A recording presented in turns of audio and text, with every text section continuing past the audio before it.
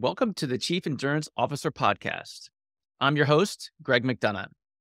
Each week, we hear real time stories from athletes and CEOs on how to maximize performance through an endurance mindset. Let's get started. Welcome to the Chief Endurance Officer Podcast. I'm your host, Greg McDonough. Today's guest is an entrepreneur, consultant, pain specialist, photographer, and a best selling author. She is an expert in how the nervous system works with the body's healing system to show you how to get out of pain. She's completed two 100 mile ultra marathons and four time Boston Marathon finisher, the founder and CEO of PABR Institute. Please welcome Amy Novotny. Welcome, Amy. Thank you for having me on, Greg. It's a pleasure to be here and really nice to meet you. And I know we were connected, um, my mutual friend. So it's just always nice to meet people who are on this kind of journey and path to help people in the world. Awesome. I, I'm really looking forward to digging into to a lot of what you do. But before I get into that, I want to talk about the endurance mindset. Amy, how has the endurance mindset impacted your life unexpectedly? I would say for me, I I kind of took it the sports way. Um, I got into running marathons unexpectedly. I really thought I would never run a marathon. I never had any desire to do it. And um, I've always kind of pushed hard my whole entire life where I grew up and went for straight A's from kindergarten to grad school. I just always kind of tested the limits. And so I got into running to help me cope with some things that were going on in my life. And I learned what endurance really meant at that point. From a physical point of view, I guess I'd already experienced it mentally and emotionally and intellectually, but I didn't really think of it that way until I started doing marathons and then ultra marathons. And that provided a lot of comfort, a lot of time to process emotions, a lot of time to develop dreams, goals, and really see what my body was capable of. Prior to that, I didn't feel like I could accomplish those things. Certainly. So, why running? Well, at the time, I was, I'll put it out there, I was going through a divorce and I didn't have a lot of furniture. All I had was a treadmill and a TV that someone had given me. And so I started, this was a long, long time ago. I started watching Biggest Loser while walking on the treadmill because I had nowhere else to sit. So I just said, okay, I'll just start walking. And once I started doing that, I was motivated by watching that show. I started jogging. I jog a little bit, walk a little bit, and then I began running and I started doing it outside. And someone mentioned I should try a half marathon. And so I realized as I was training and as I started running outside longer distances, I really liked the nature and the outdoors. It was very comforting. And now, based on what I do now, I realize that the rhythmical motion our nervous system really likes, so it helps us calm down. And when we can calm down, we can process things. And so that's kind of why I turned to running. Also, because it was solitary. I was also an avid tennis player, but it required me to find someone, schedule it. Running, I could just do when I wanted to it is magical when you're out there by yourself with your feet in nature, connecting. And yeah. it's interesting you make that point about the rhythmic aspect of it. I haven't thought about it that way, but I find that when I'm running or cycling, like my creativity just bubbles up. Do you mm-hmm. experience something similar? Absolutely. So our nervous system needs to be calm in, for, in order for our creativity to increase. And if you can use running and get into that flow state that some people can get into, where your breathing calms down and your heart rate calms down as you're moving, that allows your creative juices to start to flow and increase. And so it's, it's nice time to think of things and, you know, work on a new project or anything like that in your head. You know, I was exploring your website earlier, and there's a video of you talking about how you used uh, breathing technique to help you drop about 15 minutes in your marathon time to qualify for Boston. Can you mm-hmm. walk us through that? Like what what were you doing? How as us as an audience who are avid runners, mm-hmm. cyclists, swimmers, you name it, um, really get in tune with our breathing to help us with our performance? Sure. So at the time, I was a physical therapist. I got my doctorate in that. And at the time, I started exploring the asymmetries in our body and how we're not asym- eh, we're not symmetrical on the inside of our body, and that affects us in our breathing mechanics. So I started experimenting on if I changed my rib cage in certain ways, my breathing mechanics would change and I could calm myself down. So it's not breath work that people know out there. This is something completely different than traditional breath work. And I started working on this process that I developed into the PABR method and how I changed my rib cage position to change my breathing mechanics so that I could feel my body release tension when I was running. So as I started running, I was already running marathons, but as I started running, as I was developing this, if something developed tension wise or pain wise during the run, I could use this breathing technique plus repositioning my body and I could get myself out of the pain immediately or, or within a couple minutes. And so I started using that and experimenting on myself first and putting this into a process. And when I did it and I did it effectively, I could run marathons without pain and my speed just increased big time because I started just everything calming down. And when your body can calm down as you're moving, you can have faster turnover of your legs. Mm. And that faster turnover, if you can keep yourself calm as you're doing it, you can increase speed without changing anything else. I didn't change weightlifting. I didn't change my runs at all. I didn't change speed work. I, nothing. All I changed was my breathing mechanics and controlling my nervous system. And so when I did that, that's how I dropped off time off my marathons and just blew through the qualifying times for Boston.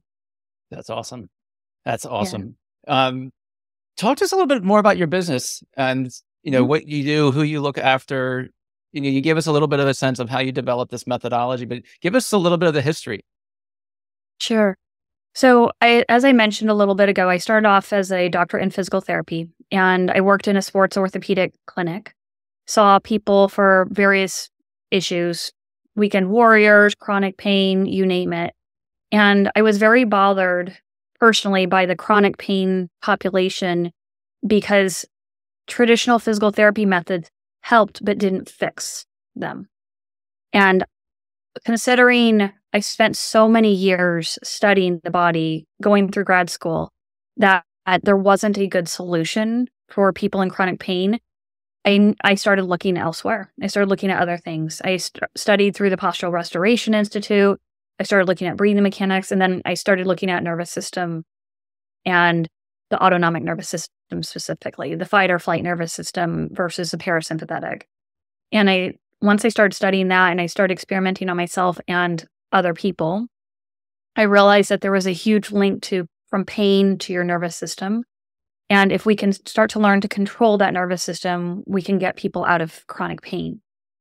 And once I started studying that and experimenting it and developing this technique, I shifted away from physical therapy into what I call the PABR method. And PABR stands for pain awareness, breathing, relief. It's just an acronym that I came up with because we're dealing with someone who's in pain, someone trying to get to relief. And what are we really doing with them? We're changing the breathing mechanics and we're increasing the awareness of their nervous system and their body position. So that's it's just uh, something I came up with. Nothing specific, nothing fabulous, but how do I conceptualize what we're doing with someone? And it's hard for someone just to grasp because it's not it's not, hey, you're gonna go buy an apple. You know what an apple is? Here's an apple. This is something very it's there's a fluidity to it. So let's say Greg, you had right shoulder pain and it's affecting you running. I know we're going to have to calm your nervous system down, get your rib cage to change position so that you feel your shoulder differently than you do right now. Mm-hmm. I need to get certain muscles to calm down that you don't even know are contracting and holding you in your shoulder in an incorrect position. And we need to get other muscles to activate to support you after we get the ones calmed down and releasing you to get your shoulder to really free up. And that's kind of, and I, so I started developing this. And so my business now is working with anyone who has any type of pain, stress, anxiety, insomnia, anyone who wants to avoid an orthopedic surgery. Um, sometimes people just come see me for anxiety, um, PTSD. So, all of these, the common denominator is that fight or flight nervous system that gets ramped up too much and causes our body to behave in a way that we're not aware of. And my job then and role is to teach you how to become aware of how your nervous system is working, then how do you calm down the nervous system so it allows your muscles to release? Because right now, the muscles are being told to contract without your awareness, and we need to release that abnormal contraction so that your bones and joints let go. And so emotions that are stored in your body let go. And so I do this with people on Zoom, and I have clients all over the world now that I do it with. It's interesting. I'm I'm super aware of everything in my body right now. I feel like my knees talking to me, my hips talking to me. Um, Amy, I'd love to dig into the mindset aspects of the work that you're doing. Like when you see a patient and they have this pain release, there must also be a, a mindset shift with them as well. Like like they're free from pain, so therefore they can do X. Can we talk about that a little bit? How how does mindset fit into this? It does. So as we start working, most of the people I work with think that they've been injured and that injury defines them and that limits them. And they think that to fix that pain, they need to have someone do something to them. Their solution is external. That's how people come in with that mindset. When they, when we start going through stuff and they start feeling their body change without me touching them and only with them doing stuff to themselves, their mind changes and they realize that their healing comes from a change within that they can control. And what's great is then when they start to do more activities, so let's say they start cycling again, and they go out for a 10 mile ride and they're like, wow, I don't have any back pain. So not only did they have a mindset shift that now they have hope for a different future, but I always stop and make sure they connect the dots and say, look at you didn't stretch. You didn't have someone push on you. You didn't get adjusted. You didn't have someone poke you with a needle. All you did was change an aspect of your nervous system and how you position yourself. You felt your muscles change, and now you can do that. So you truly control how you feel in your activities. And so, eh, what you say about mindset is really spot on because I need that to instill in their head because we're always going to develop things in our body. So, five years from now, they get in trouble, they do something, they, you know, tighten up, they have a whole bunch of stress. I need them to remember, oh, I'm not injured and I don't need someone to fix me. I can go back and do it. Because that gives them so much more power because any stressor they have, they can now work their body out of. And that stressor doesn't turn into a huge problem that it would have before because now they know they have power over their body. And that's really where the mindset work that we have to do and get someone to change. That's so powerful. Um, I've got tons and tons of questions, but I wanted to shift this again a little bit and talk around mm-hmm. habits because I suspect mm-hmm. that once you've had you've worked with a patient and they feel some relief and they're getting back to at some point they got to continue that journey on their own on a daily, weekly, monthly basis. Um, mm-hmm. How do you encourage habit making with the patients you're working with? So every time we work together, I give them three to five different things to do. And I ask them to do it for just a couple minutes, a few times a day. And I say, this is not like you have to go and spend an hour at the gym twice a day. This is, I need five minutes when you wake up, maybe five minutes before after work, five minutes or so before bed. And so what they're doing is we're trying to change a little bit of their habits so they sense something different about their body. So our nervous system doesn't like to be bombarded with a whole bunch of new stuff. It changes in a more subtle way when you do a little bit, stop. You go off and about your day. Then you do a little bit more and you stop. And you do a little bit more. It's gonna, you're gonna start to change things easier and you're going to have a more gradual shift into new habits when you can do a little bit of a change and sense and feel the change. That's the key. If I can get you to sense your right rib cage dropping down, Greg, and you feel your shoulder drop down and free up, your brain just realized something that felt really good. So your nervous system's going to start going, Oh, I want to do that again. So the next time you become aware of your shoulder, you're like, oh, okay, I'm going to drop that down and release it. Oh, good. And you start feeling that good feeling, your habit is going to start to change. And pretty soon you won't hold that shoulder up high. And so we do this with the whole entire body, but you get them to change the habit. So it's not overwhelming, but it's just subtle little changes that they can implement. Going a little deeper on that, no pun intended, I guess. Um, how does someone feel their right rib cage? Is it literally they got their hand on the right rib cage and they're they're doing some sort of motion, or is it truly a mental recognition of particular spots in your body? So it's an actual physical thing that you need to recognize mentally. So actually both of what you said. So sometimes I'll have someone start with their hands on their own rib cage and I'll say as we blow out I want you to feel this about your rib cage. And they can sometimes they can sense what's happening under their hand with the ribs. Sometimes people don't feel it for a while. But if they can sense it and feel it, then we encourage that and say, okay, what does your mind sense in your rib cage when that's happening? I'll say, okay, if we take the hands away, can you still sense that happening? So sometimes we have to develop what is that physical sensation and get that connection back to the brain. None of this is just all mind work. There's an actual physical component to everything we're doing, and there's a physical rationale to everything we're doing. That makes sense. Um, you've got to have a couple favorite stories of patients you've worked with and gone from A to Z. Can you share one of those with us? Sure. So I have a lady, she's in her 70s and she she was referred to me by a psychiatrist for anxiety. And this was a few years ago and she was unable to leave her house other than to work with me.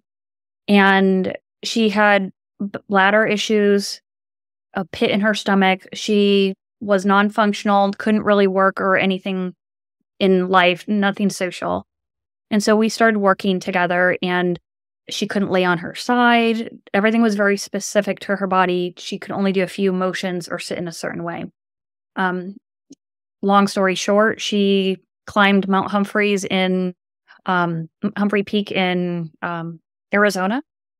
A few, you know, short while later, a year or so later, um, just finished her first triathlon. Um, she started a whole new career, and she's in her seventies. She's she started a whole new career. She's now a realtor selling luxury real estate. Um, she's she's spent a summer over in Europe two summers ago. She's traveled all over, and she went from not leaving her house, not doing anything, having a little bit of social inter not even social, but just work interaction just online to traveling the world and that's finishing her triathlon. That's so, awesome. Yeah. Um, shifting to your business, do you have a, a staff that you've taught this technique to that allows you to sort of get your impact broader to the community? Not yet. No, I have plans to teach people how to do this. Right now, I do have an online video course that allows people to start learning and they can do that on their own. Um, I just recently had a baby. So prior to him, uh, in 2022, um, I was doing group sessions, so having multiple people, but most of my work right now is just one on one, and then the video online courses. Is I'm spending a little bit of time with my little one. As you should. It's a magical moment, and they they always will tell you that time goes so fast. My oldest is a freshman in high school, and it feels like yesterday that we were in the delivery room. Yeah. Amy, I have to I have to ask about the penguins. I see penguins on your website. I see penguins behind you. Mm-hmm. There's got to be a story there. It is. So this process, um, when I was first um, starting the business, I was hired by a world famous photographer to keep him out of a knee replacement surgery. And he had just fallen and torn up his rotator cuff and biceps tendon. And he had come to see me before his fall, and we got rid of all of his knee pain, hip pain, uh, body pain he had a fall and tore up his shoulder and was told he had to have a uh, shoulder um, rotator cuff repair surgery. And he had several international photography trips planned, and he didn't want to have surgery because it would limit his ability to teach and to lead these trips. So he hired me to travel around with him and his partner for six months to teach him how to calm his nervous system down, to regain his motion, keep him out of pain and out of surgery, and um, that six months ended with us down in Antarctica, and I'm a photographer as well. And so these are some of the photos that I took down in um, the South Pole. And penguins are a symbol of rebirth, strength against adversity. And so I adopted it as my symbol for the company because so many people think that's the end for them. And if you can just go against the adversity and really work hard and meet the right people, you can change your life and beat all odds. That's amazing. I love it. I love that story. Uh, curious about photography. When did you get into that? I got into it. I started learning at the end of 2015. I started volunteering for a nonprofit in Arizona that led photography trips. And so, as a volunteer, I helped just assist to make the prices of the trips a little bit and the workshops a little bit more affordable for people. And so, I just started volunteering and I, I helped them edit one of their photography books. So, I learned photography uh, at the beginning of 2016. And then, um, just helping with some of their trips, I started picking it up and practicing, and I fell in love with it. And um, it led to a lot of some nice awards and some great opportunities. The penguin stuff was actually in a gallery showing in 2020, so that was kind of neat as well. That's awesome. Um, shifting back to your business, you mentioned you do you've got online courses mm-hmm. and you do a lot of virtual work. Was that the case before the pandemic, or is this a, a pandemic benefit? I would say it's a pandemic benefit. I was doing some online, um, but prior to 2020, I did have an uh, in person office where I worked with people in person and did some online. But then uh, March 2020 gave me that little shove that I needed to switch everything online. And basically, I've been online since then. And honestly, people learn better and it forces them to learn versus me in person putting my hands on them. I stopped doing all in person and now it's only online because the benefits are so much better. You know, it's interesting. I love my chiropractor and I try to see her once a month and I've been working with her for probably 20 years, as does my wife. Yeah. But now that we've gone through the pandemic and I've gotten so used to being behind a camera, it's hard for me to be like, hey, I'm going to go jump in my car, drive to her office, have a 15 minute appointment and come back. And so I tend to stop going, which then mm. leads to pain and other things. But mm. um, to your point, we've got into that mentality of, you know, driving and, you know, getting ready in the morning for work. Um, so anyway, you got me on a different tangent. Amy, I'd love to know a little bit more about you. You, you talked about your childhood and how you thrived in these sports and your straight A's, and but give us that gap between sort of your childhood and discovering physical therapy. Uh, Bell, let's just leave it at that. So, growing up, I was always interested in life, fascinated. I challenged myself in every which way. Um, in high school, I um, did all AP courses. I pushed myself in college. I studied abroad in France, backpacked Europe, uh, volunteered in Australia, and whatever I, opportunity I saw, I said yes. If I could somehow figure out the finances, get scholarships, I just said yes because I've always had the mentality that if someone else could do it, so could I. Why not? That's always just been my mantra. Why not? Um, and I did research in ecology and I was going to go down that route. Um, I presented at an ecological conference and I decided I really liked people. I really liked physics. I liked biology. Those were my two favorite subjects. And so it naturally led to physical therapy and going to grad school um, for physical therapy is just a lot of times we think and we're taught go to school, go to college, get a job, settle down, you're done, and life ends. And from point of birth to grad school, I was always doing a million things. I was always in a variety of things. I always had to have something athletic, creative, intellectual, I wanted to always cover myself in all realms. And once I got out of grad school and got my job, my house, I became stagnant for 10 years. And I realized this is not fun. This is really, this can't, there has to be more to it. And I wasn't around any entrepreneurs at that time. And I didn't know what having a business was like. I'd always said I would never have a business, but I didn't understand because I had never been exposed to that. And so after that, after taking that leap to travel around the world, I said, I cannot go back to being in a job working for someone else. And I said, it's time to start a business. And I had no clue what I was doing. I had no money. I wasn't, I was like, I'm, I just asked a few people and I just jumped in and I said, okay, I can always go back to the job. But why not take a leap right now? I have nothing tying me down. Why not take a leap and try? And I'm glad I did. I'm really glad I did because it led to a lot of opportunities and it led me to having a baby and being able to work from home and have a nanny and just be around my child all the time. So there's a lot that there's a lot more to it, but that's kind of the general gist of me. Thank you for sharing. Uh, so, what is it like running a business? We've got a lot of entrepreneurs that follow this show. I'm an entrepreneur as well. For those that haven't started a business or are thinking about it, give us some words of wisdom, some cautionary tale about sure. running a business. So I would say, first and foremost, start getting around entrepreneurs. Just start hanging around them because you start to learn tidbits and you learn ways to speed up the process for your business or to even start a business. I wouldn't recommend just jumping in cold turkey like I did because I had no clue what I was doing. And it leads to a lot of tears and frustration. So I would say first start hanging around other people and you can start asking questions. They will help you say, okay, you want to get a business license, you want to set up this and this and this and and kind of guide you through it.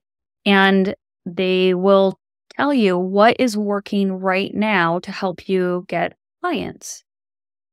I was somewhat lucky after a few months of starting my business.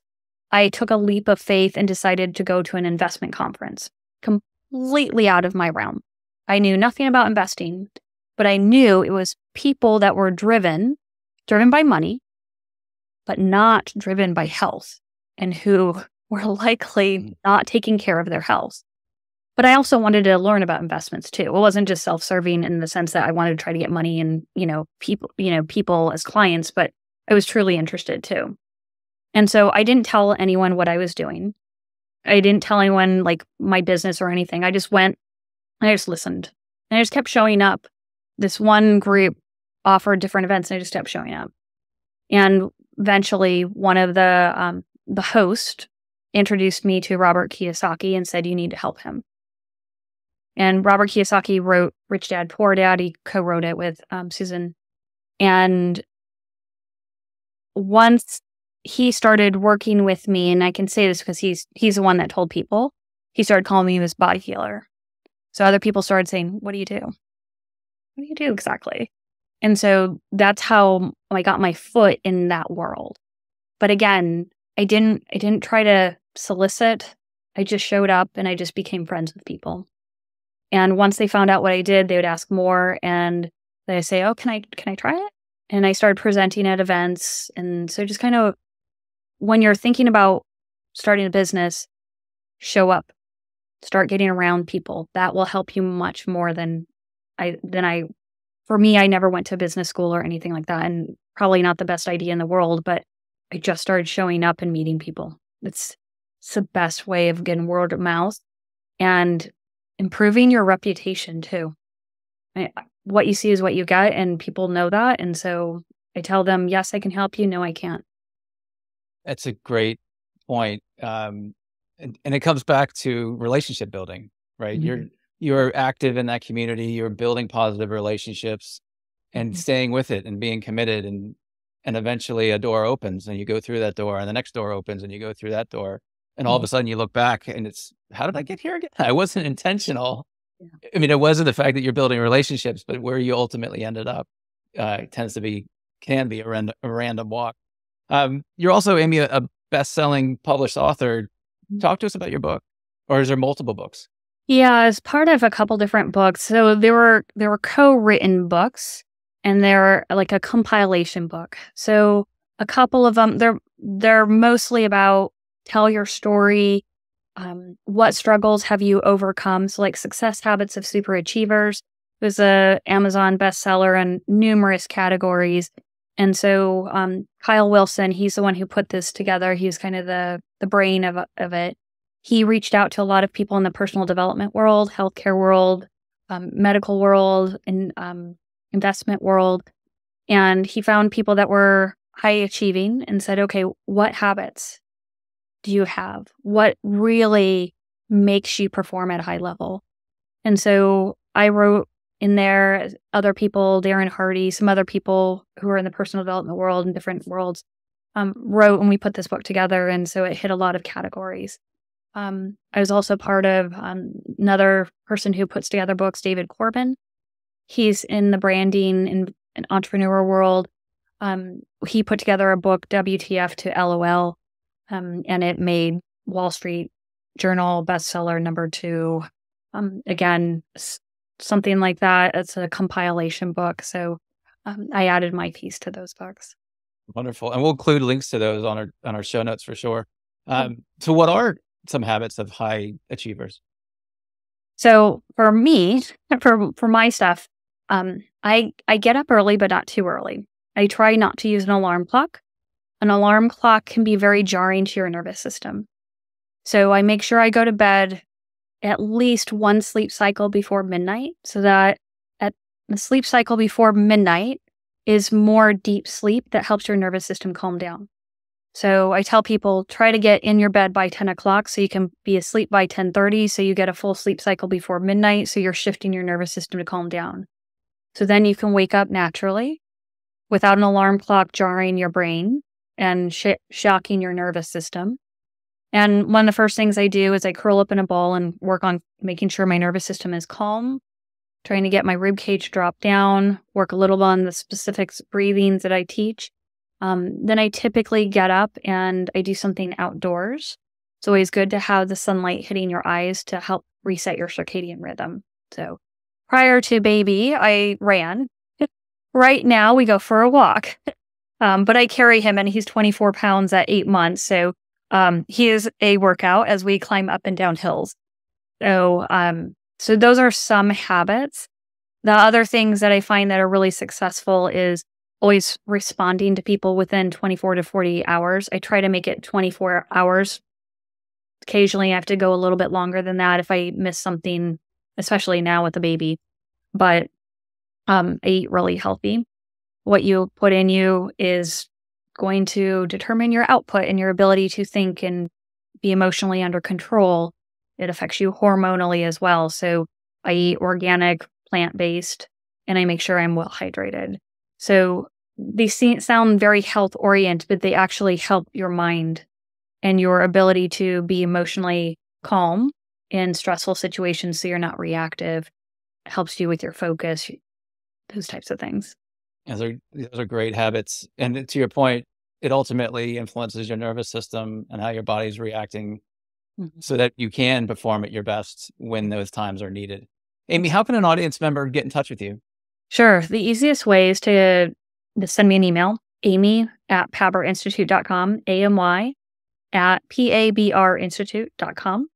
And they, you can reach me through the website too, which is pabrinstitute.com. So either way, just go there and go to the contact page or just send me an email.